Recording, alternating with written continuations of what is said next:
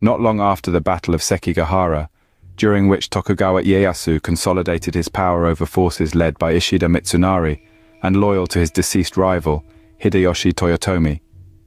But a thorn continued to remain in his side. The name of that thorn was Osaka Castle. At that time, Osaka Castle was known as the largest, most formidable, and most opulent castle of the time.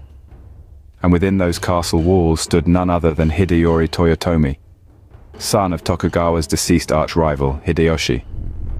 Tokugawa had gotten Hideyori to agree to fill the moats around Osaka Castle, leaving it effectively naked from a military standpoint. But he was still fearful of the continuing support for the Toyotomi clan, and of one warrior in particular who was within the Osaka castle walls, the legendary Sanada Yukimura, the Crimson Demon of War. Tokugawa had even gone so far as to secretly offer Sanada land to influence his loyalties, but the honorable Sanada stayed loyal to Hideyori. Fueled by whispers of rebellion and the ghost of Hideyoshi, tensions escalated. Ieyasu, old but not foolish, gathered a mighty army, 160,000 strong, and descended upon Osaka, laying siege to the castle. The winter campaign was brutal. Cannons roared, arrows fell like rain, and bloody battles raged. Despite this, Osaka Castle stood strong, a beacon of resilience against the onslaught. The skilled defenders of Osaka Castle, led by Sanada Yukimura, were able to launch successful counterattacks, which inflicted heavy losses on the Tokugawa forces. This effectively led to a stalemate that lasted into the following summer. However, as winter turned to spring, Ieyasu played his master stroke. He diverted the Yodo River, flooding the castle's outer defences.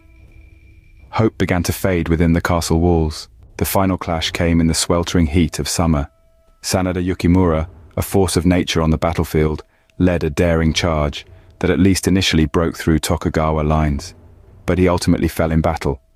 The remaining castle defenders continued to fight valiantly, but in the end, they succumbed to the sheer number of attackers. Osaka Castle was set ablaze by Tokugawa's forces.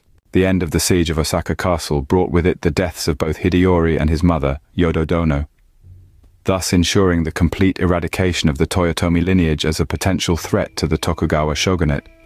Both Hideyori and his mother, Yodo-dono, committed seppuku, thus ensuring relative peace and stability in Japan for the next 250 years.